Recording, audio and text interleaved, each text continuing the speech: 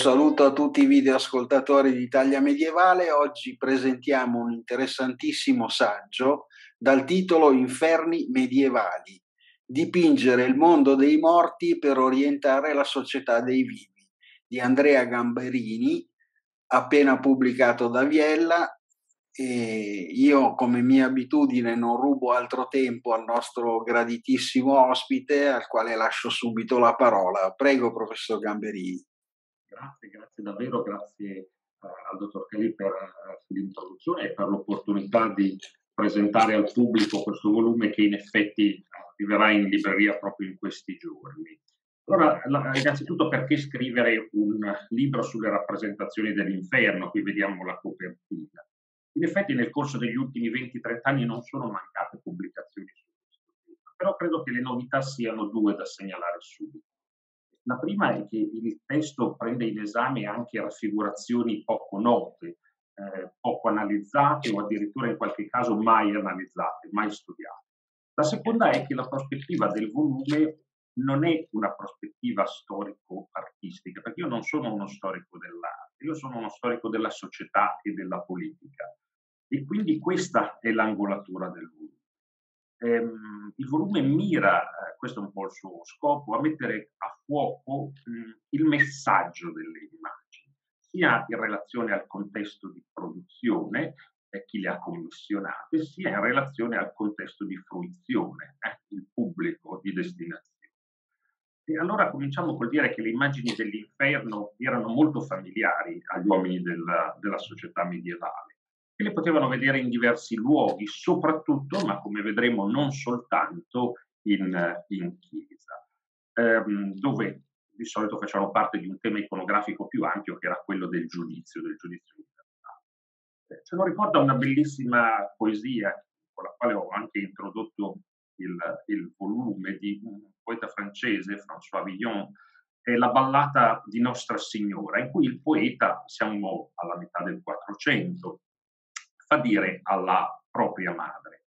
In parrocchia vedo il paradiso con le arpe e i liuti e l'inferno dove bruciano i dannati. L'uno mi riempie di paura, l'altro di gioia e di delizia.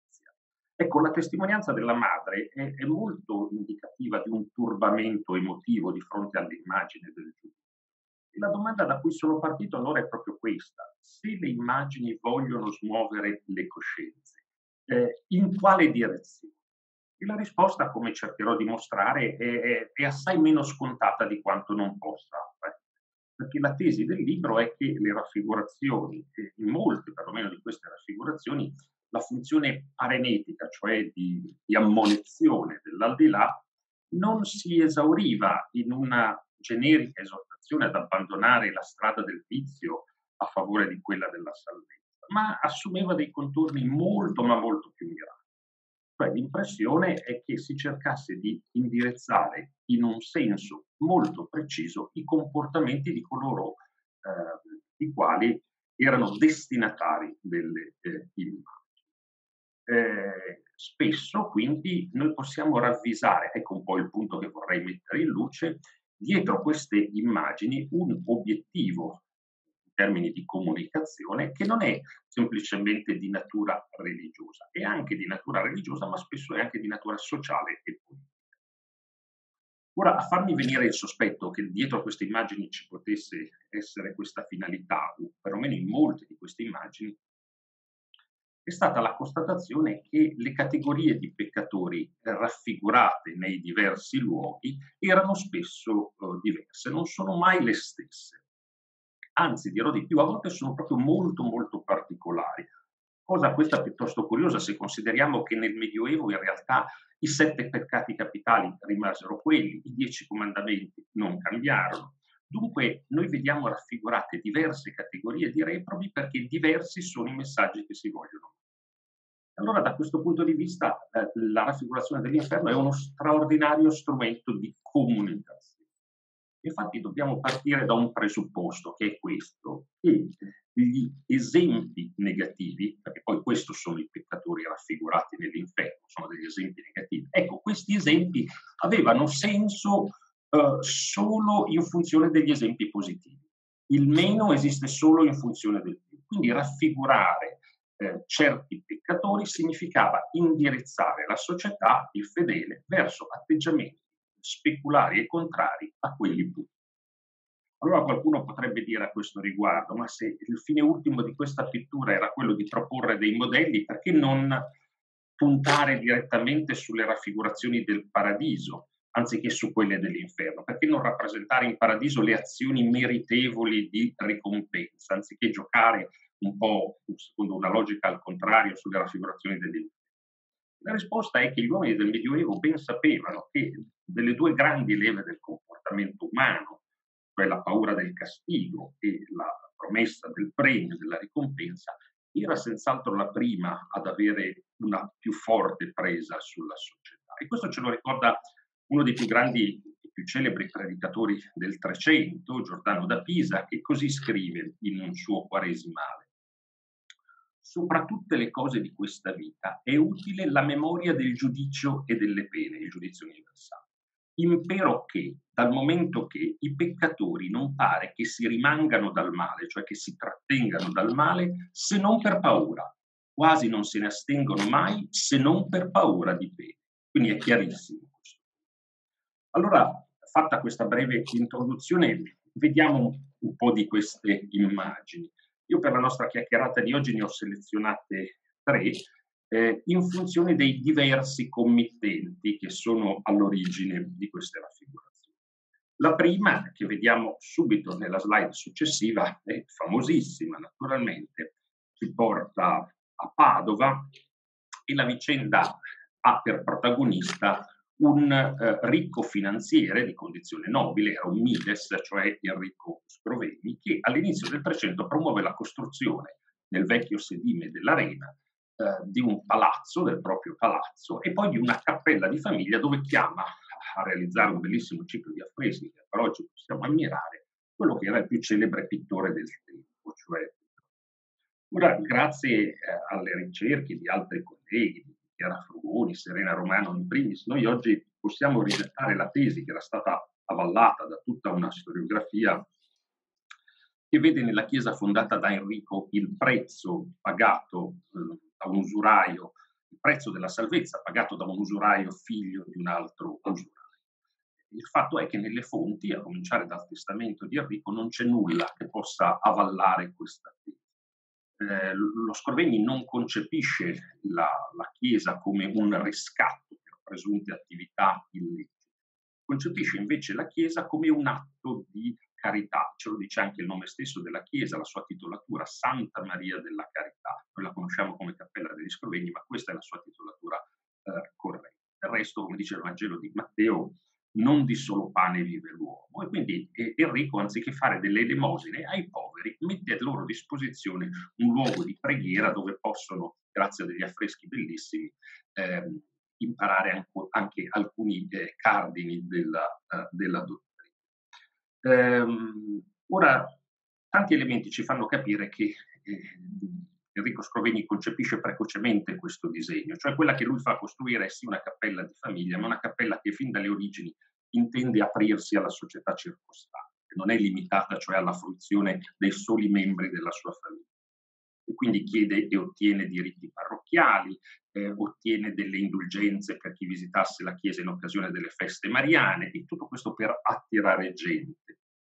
Ora, ehm, il punto però è che eh, al di là di queste precisazioni il tema del rapporto con del, col denaro per Enrico rimane comunque molto delicato, perché le, ma le lingue parlano, perché comunque su che cosa sia eh, l'usura. All'epoca c'era molto dibattito, i francescani che erano all'avanguardia nella riflessione su questo tema teorizzano che prestare a favore della comunità, quindi non tesaurizzare ma mettere le risorse in circolo, non sia un'attività.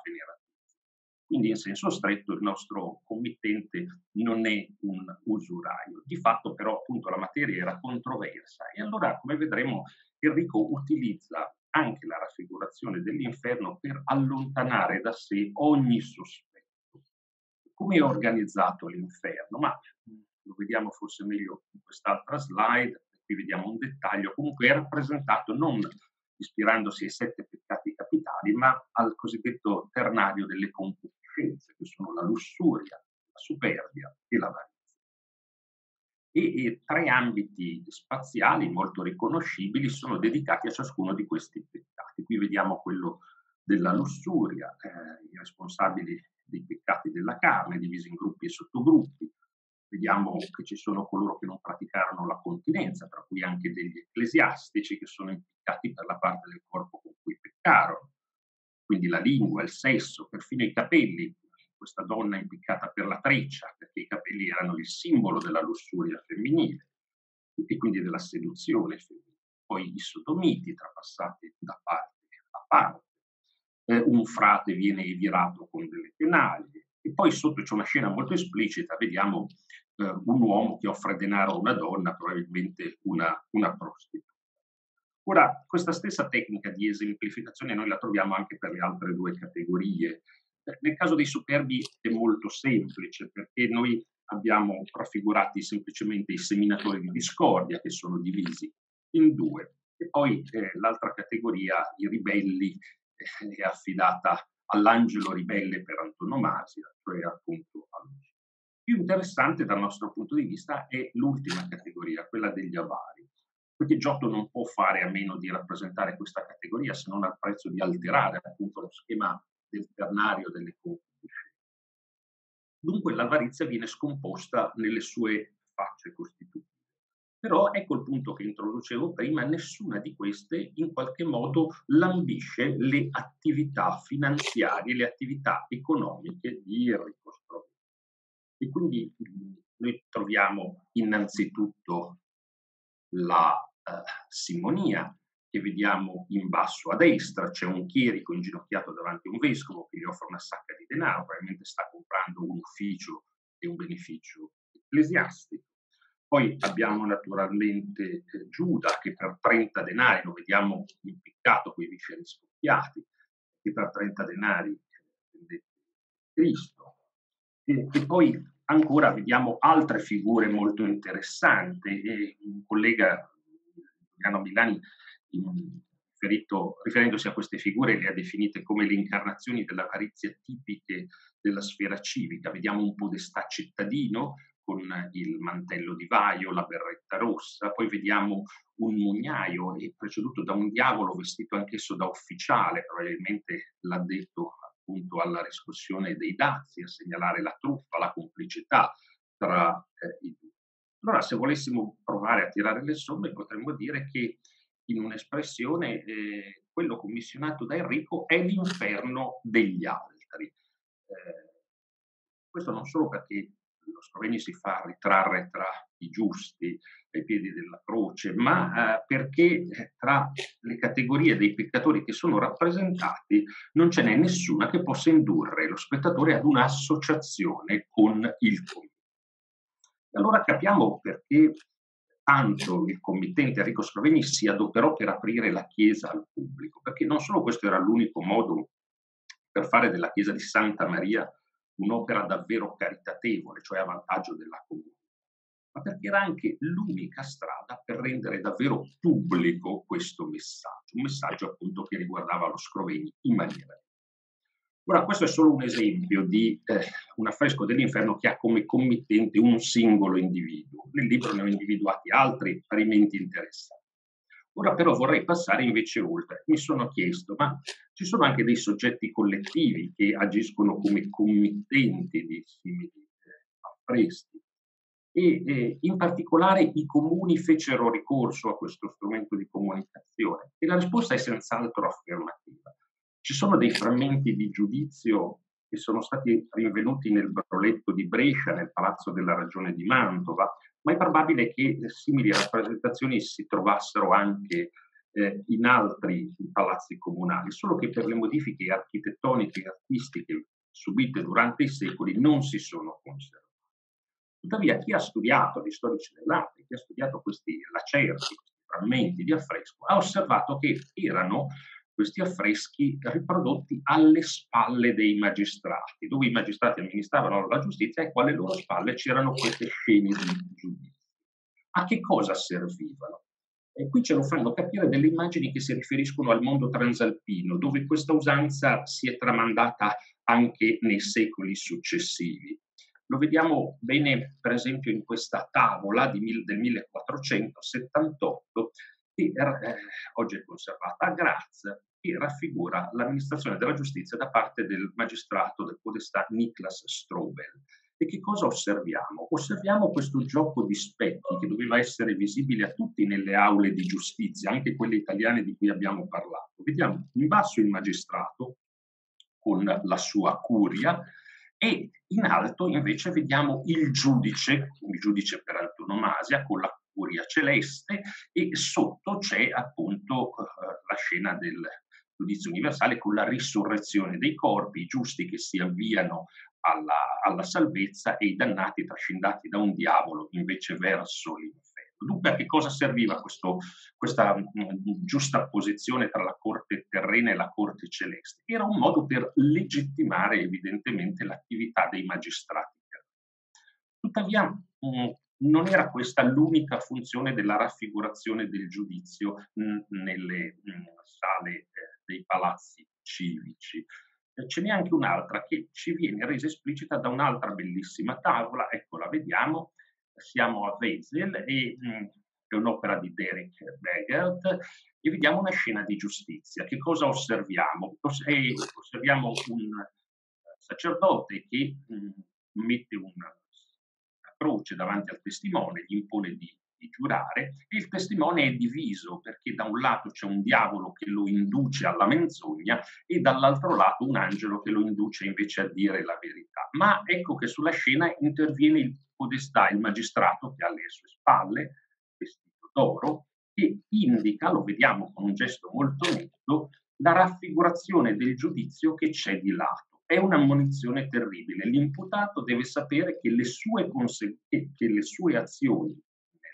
nel tribunale, nell'aula del tribunale, avranno delle conseguenze anche ultraterrene. Porteranno cioè anche alla, come dire, possibile dannazione dell'anima. Quindi è una forma di ammonizione.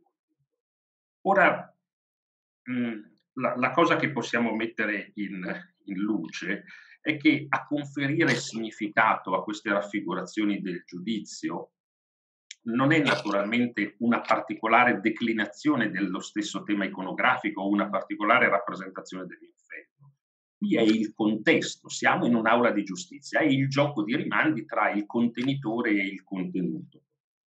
Allora questo significa che in Italia nessun comune fece un uso della raffigurazione dell'inferno analogo a quello, per esempio, di Enrico Scrovegni, con un inferno molto tematizzato e connotato tutto il contrario, vuol dire semplicemente che non dobbiamo cercare queste testimonianze nelle aule di giustizia, ma le dobbiamo cercare nelle chiese. Quali chiese? Quelle che erano di patronato comunale. L'esempio che vorrei portare è quello della chiesa bellissima della Annunziata, della Santissima Annunziata a uh, Cori. Cori oggi è un comune in provincia di Latina. Uh, qui appunto abbiamo questo, questo splendido affresco, il giudizio in particolare fu commissionato dal comune, lo sappiamo attraverso un'iscrizione negli anni venti, al pittore Pietro Coleberti e alla sua bottega. Ehm, andiamo ad analizzare subito l'inferno, perché come dire, è una raffigurazione estremamente interessante. Ecco, lo vediamo qui un po' più in dettaglio. Allora, come spesso purtroppo nelle chiese la figura di Lucifero è stata abrasa, questa è una cosa che per fini, diciamo, apotropaici, inauguranti spesso è avvenuta nel corso dei secoli, però per fortuna si conservano tutte le scene intorno. E, e che cosa ci colpisce? Ecco che volendo trovare la chiave per interpretare questa raffigurazione, possiamo dire che mh, mm, eh, ci sono due precise tipologie di peccatori. Coloro che misero a repentaglio la coesione della comunità e coloro che misero a repentaglio l'unità della famiglia, che della comunità è il mattone costituito.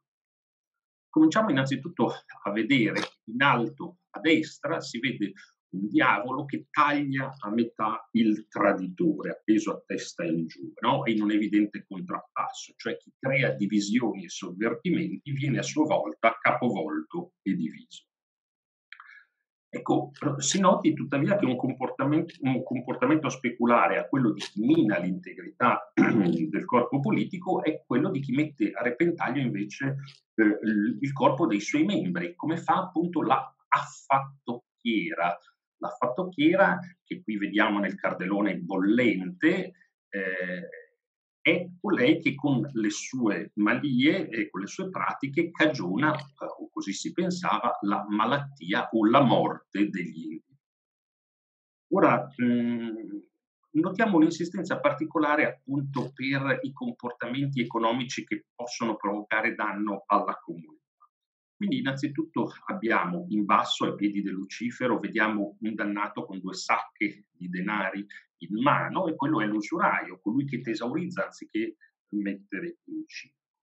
Poi notiamo che eh, in braccio a Lucifero ci sono due rappresentazioni molto stereotipate dei superbi, un papa e un imperatore, ma di fianco al papa, che conosciamo per il triregno in testa, leggiamo testatore, il testatore, il riferimento non è genericamente a chi fa testamento, nel fare testamento non c'è nulla di male, è a chi fa testamento dimentica, dimenticandosi di restituire le usure, cosa che anche i notai suggerivano di fare all'atto della redazione del testamento. Perché questa è un'attività che, questa dimenticanza va contro l'interesse della comunità. Perché questo? Perché a distanza di anni poteva essere difficile trovare coloro ai quali restituire il maltolto, loro o i loro eredi. Però i predicatori insegnavano che, diciamo così, ehm, la coerenza dei legami economici alla, all'interno della comunità era preservata se questo denaro veniva comunque riversato per un utile collettivo attraverso cioè delle elemosine. Ecco perché la comunità si preoccupa di inserire anche il testatore, il testatore eh, diciamo un po' disattento, tra il dannato. Ora, vediamo che qui piano piano sta eh, prendendo corpo un ideale mh, modello di comportamento economico di tipo virtuoso.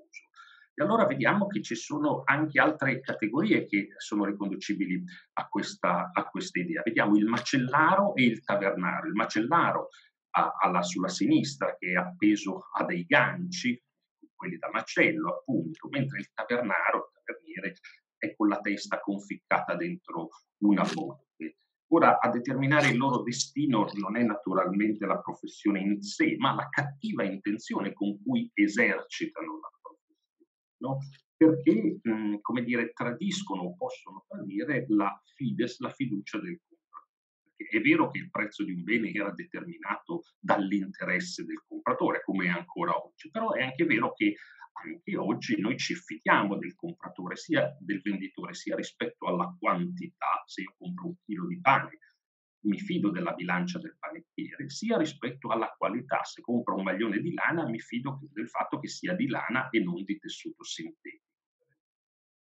Ora, eh, abbiamo parlato delle logiche economiche dietro la comunità, ora soffermiamoci invece sull'insistenza per la famiglia come struttura da proteggere da tutti quei comportamenti che ne, mirano, ne minano sia la coesione eh, sociale, sia la funzione come ordinata struttura di ridistribuzione delle risorse.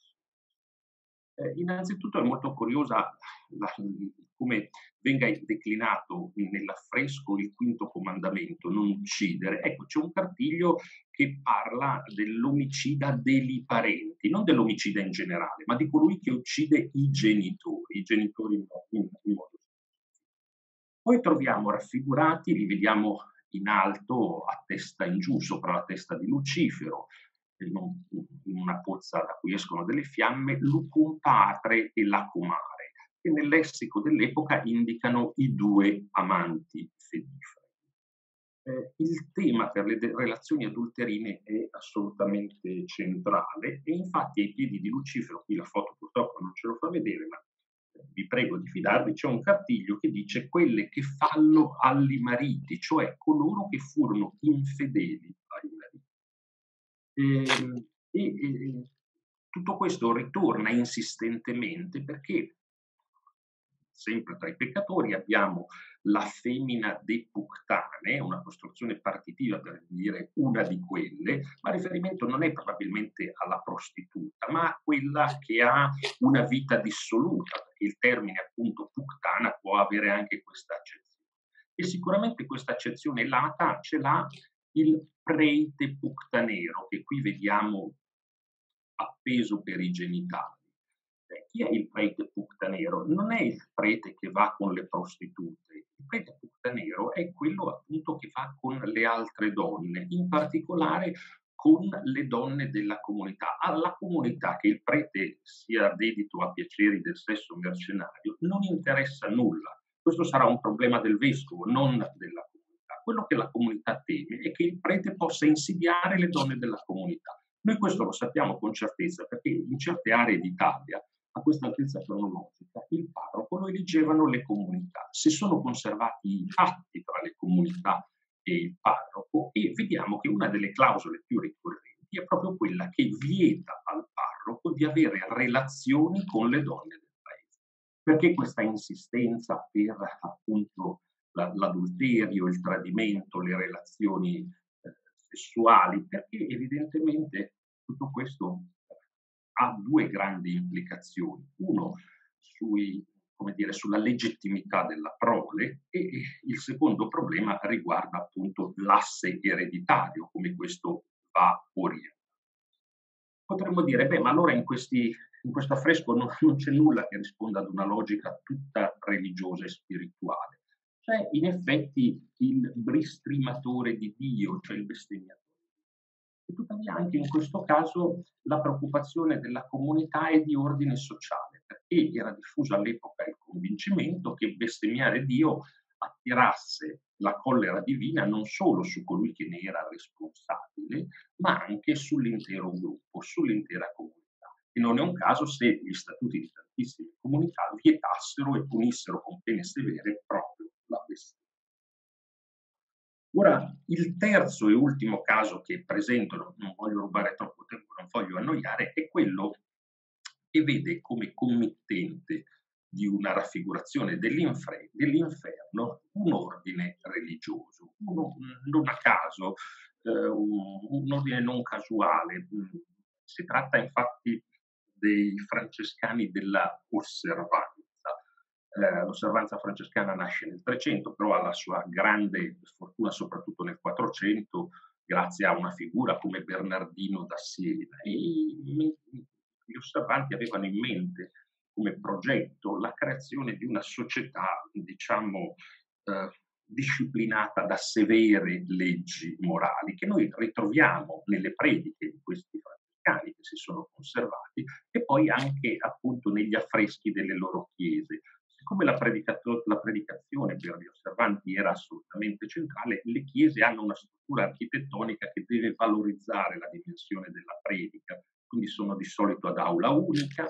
E poi hanno questi bei tramezzi, qui lo vediamo nel caso di San Bernardino a Ivrea, che sono tutti affrescati e che permettevano appunto al predicatore di fare dei rimandi visuali durante la sua Vediamo però che alla base del tramezzo c'è un bel giudizio universale, siamo sopra il pilastro alla sinistra di chi guarda, e poi a destra c'è la raffigurazione dell'inferno. Ecco, questo è il giudizio universale, l'autore è Martino Spanzotti, siamo negli anni 90 del, 300, del 400, e questo invece è l'inferno.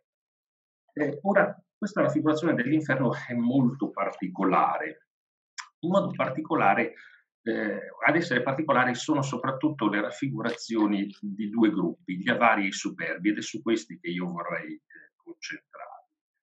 Eh, noi sappiamo che uno dei cardini della predicazione degli osservanti eh, era rappresentato dalla corruzione in ambito giudiziario, che viene dipinta come un vero e proprio cancro che divora la società.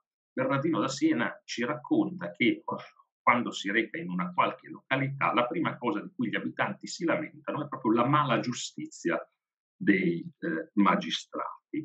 eh, le superchierie sono continue di vario genere, chiedono denaro per ogni cosa, per accettare le prove, per fissare i termini procedurali, per emettere la sentenza, per orientare la sentenza. E la cattiva reputazione dei magistrati alla fine del Medioevo è proverbiale, diventa un topos. Giovanni da Capestrano, un altro celebre osservante, eh, entra nell'ordine a 30 anni abbandonando proprio la professione di giudice eh, e così anche Giacomo della Marca, altro celebre predicatore. Bernardino della Fossa, eh, anzi da Fossa, altro osservante, al compimento del diciottesimo compleanno, ce lo racconta lui, si sentì chiedere da un giureconsulto aquilano di nome Pace che cosa volesse studiare e alla risposta medicina come vuole mio padre, il celebre doctor gli rispose cur non legibus, perché non leggi, perché non diritto? Lui rispose, perché ho sempre sentito dire che i giureconsulti e i causidici sono destinati alle pene. E allora, tornando ai nostri affreschi, non è un caso che nella spelonca infernale dedicata agli avari, ai responsabili di avarizia, presieduta da demone Mammona, che qui vediamo reggere il, vers- il vessillo con il suo nome, noi troviamo eh, in primo piano disteso proprio un giudice che riconosciamo per la tipica berretta. Ehm, ora eh, è disteso su un fianco con le mani e i piedi legati, ha due grosse scarselle, una in vita e una al collo, con delle sacche di denaro, e tutto intorno ci sono le carte giudiziarie, che sono la prova della sua corruzione e la pena inflitta al peccatore è chiaramente ispirata al contrappasso, così come in vita lui ha disposto lo strazio delle carni altrui, da morto il suo corpo subisce un tormento banale. Ma qui entra un elemento di grande originalità sul piano iconografico, perché esecutori di giustizia, della giustizia divina, sono infatti dei fanciulli che qui vediamo penetrare al, al, proprio nelle carni del giudice, si vede anche il, il, rivolo di sangue nel punto in cui il corpo del, del fanciullo entra nel corpo del, del giurisdicente. Perché dei fanciulli? Perché qui il pittore non ha fatto altro che ispirarsi a quei rituali di giustizia che erano diffusi nella società basso-medievale e che, nelle società urbane in modo particolare, e che affidavano proprio ai fanciulli l'espulsione dei nemici dalla comunità, cioè erano i fanciulli che scortavano per esempio i condannati a morte, che ne accompagnavano il corpo fuori dalle mura, erano i fanciulli che erano talora incaricati di tirare pietre contro i condannati a morte, e questo perché i fanciulli in realtà in, in ragione della loro innocenza non correvano appunto il rischio di contaminarsi con il contatto c'è però un secondo elemento che è tipicamente osservante in questo affresco e lo vediamo qui nella raffigurazione dell'ultimo sepolcro, quello più basso dove si unisce il peccato più grave, la superbia.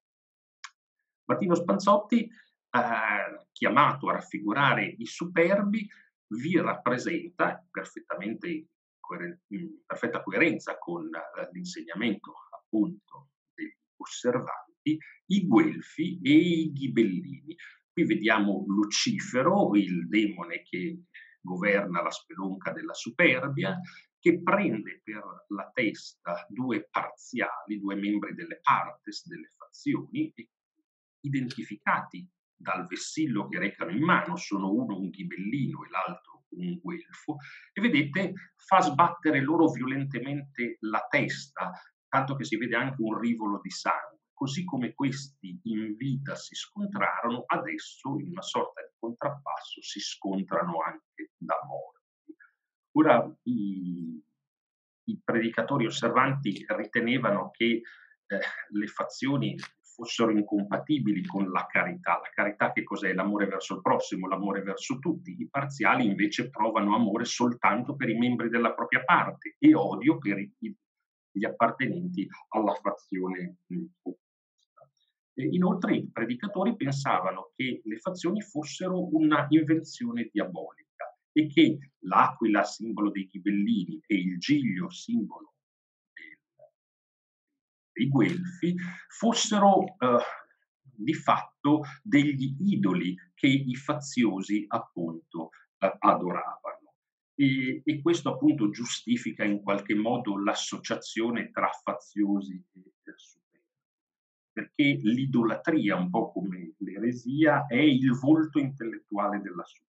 Chi sono gli idolatri, chi sono gli eretici, sono dei superbi desiderosi di autoaffermazione, eh, persone che si danno esse stesse delle coordinate morali e religiose, rifiutando invece quelle che vengono proposte loro appunto dalla, Chiesa. Ecco, io mi fermo qui perché mi rendo conto, ho già parlato per tanto e diciamo, lo scopo di questa presentazione era quello di così un po' incuriosire e dare il senso della, della ricerca che è stata condotta. Quindi ringrazio moltissimo per l'opportunità che mi è stata offerta.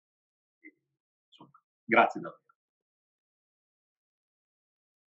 Ecco, adesso per salutarci le, le, chiedo di togliere la condivisione così riusciamo a farci vedere. Ci provo subito, eh. interrompi condivisione, ecco fatto, sì. Ecco, perfetto.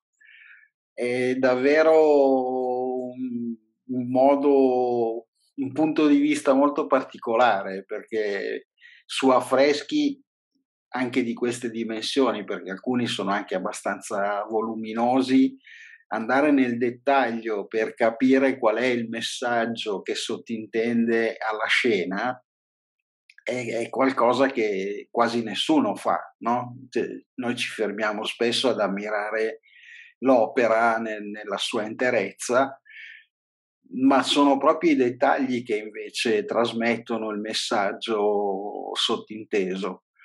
E, e questo è veramente mo- molto, molto interessante anche per gli esempi che ha portato. Quindi io siamo noi che la ringraziamo per averci aperto questo mondo e, e, sicuramente è un invito ad andare a visitare le chiese o a vedere gli affreschi. Ecco, questo, questo, sarebbe già un ottimo risultato, anche perché molte di queste chiese sono un po' fuori dai circuiti turistici più tradizionali, più noti. Eh, sì, sì, sì, e quindi è veramente nello spirito con cui Italia medievale opera, no? che è quello di portare la gente a conoscere il patrimonio immenso che noi abbiamo e che spesso è poco valorizzato perché è fuori dai circuiti tradizionali. E quindi è, è veramente con grande piacere che abbiamo presentato questo libro. Ci sarebbe piaciuto tanto poterlo fare in presenza, perché chiaramente ha un'altra dimensione, un'altra possibilità di interloquire col relatore, però purtroppo ancora siamo in una situazione che non permette di programmare attività in presenza o quelle poche che stiamo riuscendo a, a programmare sono eh, piene di, di, obblighi, limitazioni e quindi meno avvincenti di come potrebbero essere. Mi rendo conto, sì, è un limite, però intanto è già un primo risultato. Ecco. Sì, sì, certo, no, no, infatti era, sicuramente era un, un libro da, da conoscere e far promuovere, quindi l'abbiamo fatto con grande piacere. Io la ringrazio ancora tantissimo. Grazie a voi davvero dell'invito, è stato un piacere e spero a presto, visto che poi siamo entrambi a Milano, prima o poi magari qualcosa in presenza la riusciamo a fare. Assolutamente sì, con grande piacere. Grazie intanto. Prego. Arrivederci. Arrivederci.